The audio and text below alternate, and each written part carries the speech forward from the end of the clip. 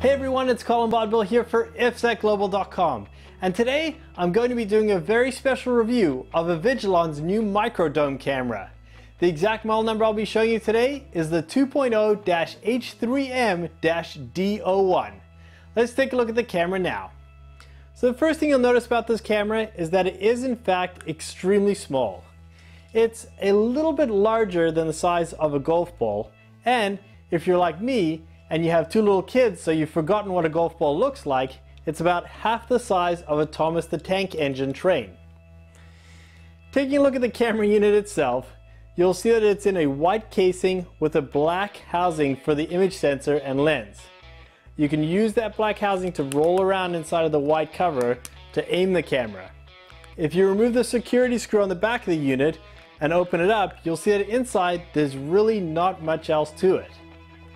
Flipping to the other end of this wire, you'll see that the connector for the camera has a rubber sleeve on it here for its IP66 rating.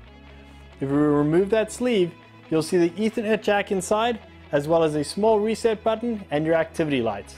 That's really all there is to this camera, so now let's get techie. Avigilon's microdome camera is available in a 1 and 2 megapixel model. It can stream up to 30 frames per second and supports both H.264 and MJPEG compressions. This microdome camera comes with a built-in factory-focused 2.8mm lens that gives it an 86 degree angle of view.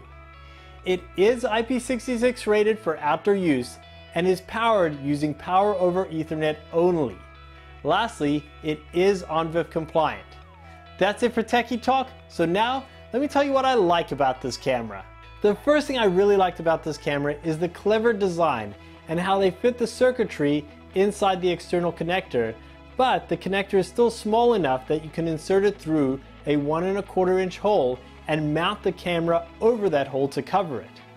The other thing that I really liked about this camera is the image quality. Other than some slight lens distortion from the smaller form factor, the image quality was right up there with the rest of Avigilon's cameras. It's also a 2 megapixel camera, which is tough to find in the discreet model. That's it for what I like about this camera, so now let me tell you what I didn't like about it. The first thing that I didn't like about this camera is the mounting system. The screws to mount the camera sit very close to the hole that you have to drill to insert the connector through. It's vitally important that you don't do what I did the first time and you actually use the mounting template to fix the camera to the wall. That being said, even using the mounting template, it's tricky and there's going to be a little bit of a learning curve for people to get used to that. The other thing that I didn't like about this camera is aiming it. The way that it fits inside of the housing itself, it's very tricky and you need to loosen the screw to aim the camera and then it can move around and it just is very tight inside of that unit. That's it for what I didn't like about this camera. I will say that overall it was an excellent camera and I can see it being really useful in residences, commercial offices, retail, and condo buildings.